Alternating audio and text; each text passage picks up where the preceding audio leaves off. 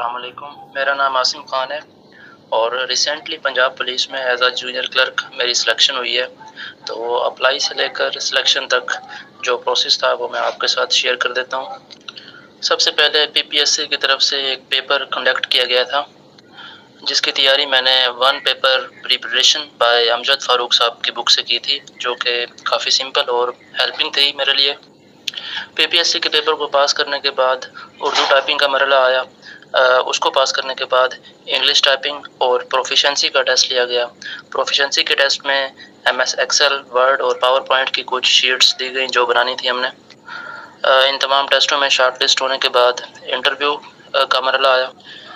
Interview PPSC के head office Lahore में conduct किया गया जिसमें पीपीएससी की तरफ़ से जो थे डॉक्टर सरफराज अहमद वड़ैत साहब एज अ चेयरपर्सन इंटरव्यू का जो पैनल था, उसके चेयरपर्सन थे। और पंजाब पुलिस की तरफ़ से जो थी, वो डीपीओ शाजिया सरवर साहिबा थी। और उनके साथ एक आईटी डिपार्टमेंट की तरफ़ से थे।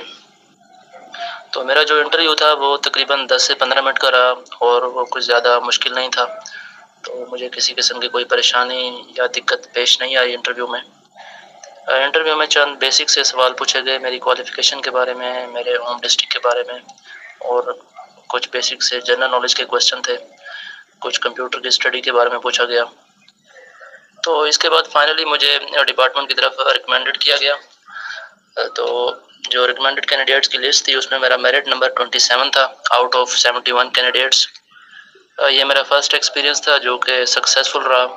तो पीपीएससी की तैयारी के लिए मैं आपको रिकमेंड करूँगा कि आप अमजद फ़ारूक साहब की बुक जो है वन पेपर प्रिपरेशन आप उसमें से स्टडी करें एज अ बिगनर अगर आप हैं तो आपको काफ़ी मदद मिलेगी, उसमें से काफ़ी इजी है, काफ़ी सिंपल है, आपको पढ़ने में, समझने में बहुत आसानी होगी। और इन आपको कामयाबी होगी। अल्लाह आप सबका हामी नासिर हो। जजाकल्ला